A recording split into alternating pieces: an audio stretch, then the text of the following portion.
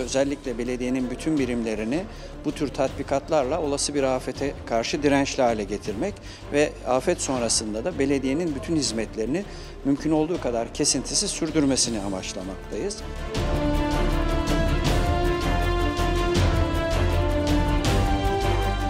6,9 büyüklüğünde işte e, Silivri açıklarında bir depremle 30 saniye süren bir depremdeki personelin davranışları, bu belediyenin kendi birimleri içerisinde oluşturulan afet ve acil yardım komitesinde çalışan görevlilerin koordinasyonu sağlamak amaçlanmıştır. İstanbul Büyükşehir Belediyesi Lojistik Destek Merkezi'nde gerçekleştirilen tatbikata OKOM 112 ve itfaiye ekipleri de kalabalık gruplar halinde destek verdi.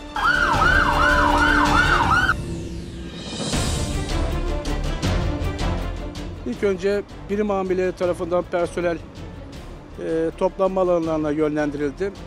Olası yangında da yangına müdahale ekibi e, yangına müdahale etmeye çalıştı.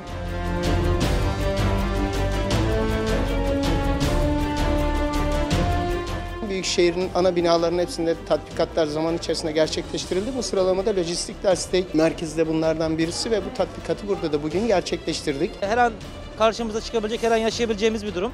Ee, Büyükşehir Belediye Başkanlığımız da depreme ve doğal afetlere karşı hazırlıklı olmamız için bu tür tatbikatları zaman zaman yapıyor.